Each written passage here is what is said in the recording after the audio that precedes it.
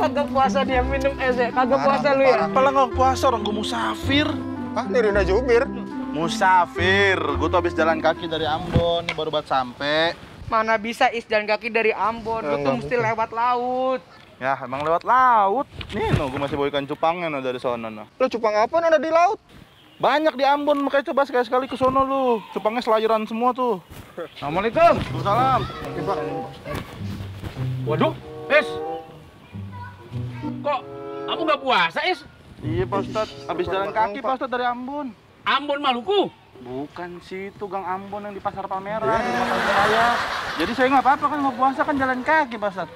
Astagfirullahaladzim. Is, Is.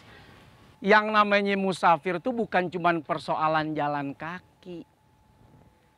Tapi musafir tuh punya ketentuan. Allah Subhanahu wa taala berfirman dalam Al-Qur'an Bismillahirrahmanirrahim.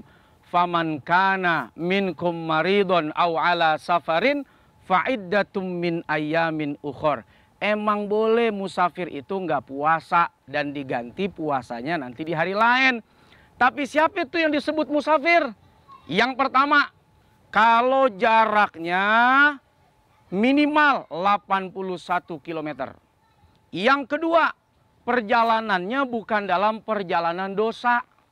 Yang ketiga, kalau dia kepengen berbuka dan disebut sebagai musafir, berangkatnya dari mulai sebelum subuh. Tuh. jatuhnya bukan musafir, lu mah orang lagi jalan santai doang, Is. Eh, eh, mau ke mana? Saya mau jadi musafir, Pak. Itu kan punya Rais. Ah, Mas Rais.